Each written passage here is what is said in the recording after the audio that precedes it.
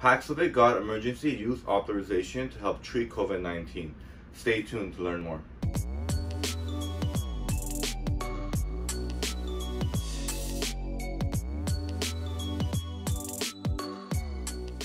What's up guys, hope everyone's been doing well. For those of you who don't know, my name is Edgman and I'm a pharmacist and I enjoy making these videos about common questions patients have about medications or any healthcare related topic. So make sure you subscribe for more content. Now to the rest of the video. Paxlovid is a new antiviral medication made by Pfizer, and it recently got emergency use authorization about a couple weeks ago from making this video. Um, and the study published by Pfizer showed a lot of positive outcomes um, for patients who were diagnosed with COVID-19 if, they, if taking Paxlovid within five days.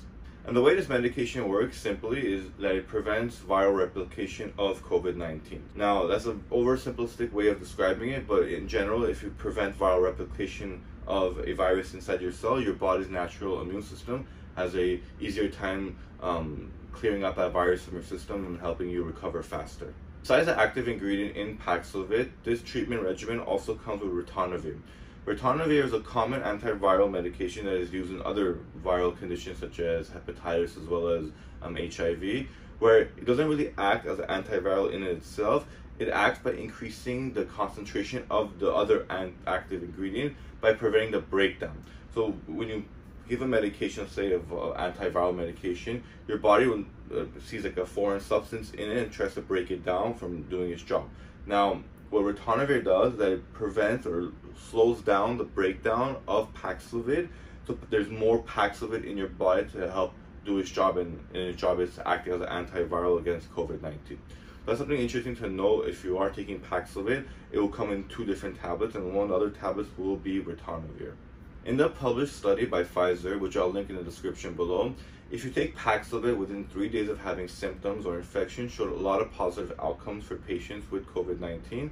But they also state that within five days of symptoms or infection also yields very good outcomes.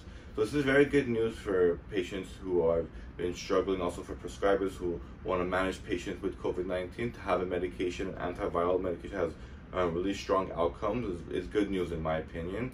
Now the dosing regimen is that you want to take two tablets of Paxlovid with one tablet of ritonavir every 12 hours for about five days. And that's the dosing regimen they did in the study in which um, patients who will now get Paxlovid will take that same regimen. Now in this part of the video, I'm going to be talking about access to this medication. Now, as a pharmacist based in Southern California, when I first heard about Paxlovid, I immediately got excited that there's a medication, an antiviral tablet, that's very effective in treating patients with COVID-19, also very safe. So when I read about it a little more, I saw that Pfizer and its facilities will be manufacturing this medication in large quantities by hopefully middle to late January 2022, which is right now or at the time of this recording. Now, I'm like, okay, that's great. And about a week or so ago, I got an email from the county which I'm located in saying that Paxlovid is starting to roll out to pharmacies and it's only being uh, rolled up to specific pharmacies and didn't even give us the option to apply to even carry Paxlovid, which I saw that as very frustrating because of Paxlovid is an antiviral tablet. For how much I understand of it, there's no special storage or uh, uh, procedures with this medication. I, I imagine as any other tablet or any other antibiotic that could be dispensed to patients.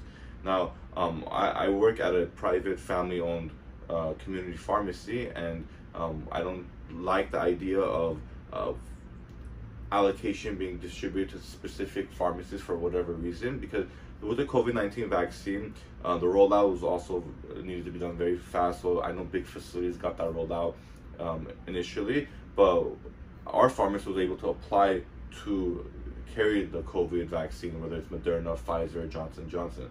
With Paxlovid in this case, um, it was very frustrating because the email didn't even give any option to apply. Because I have a bunch of patients who get COVID 19. I get calls from doctors' offices asking if I carry Paxlovid, and I have to say I don't, and I don't have access to even getting Paxlovid. So that part of my job is a little bit frustrating because I want to help my patients as much as I can when they ask for medication that um, it works and it's effective and safe and they have COVID-19 and I don't even have the ability to help them out. That part gets frustrating, but overall I'm very excited that there's a medication out there that can help manage patients with COVID-19 and it's very effective. So that's the most important thing in my book. So I'm very happy and grateful for that. I hope you guys enjoyed watching my video and learned something new. If you guys did, please give me a big thumbs up. Make sure to comment any feedback or uh, questions you guys have for me. Until then, I'll see you guys next time. Thanks for watching.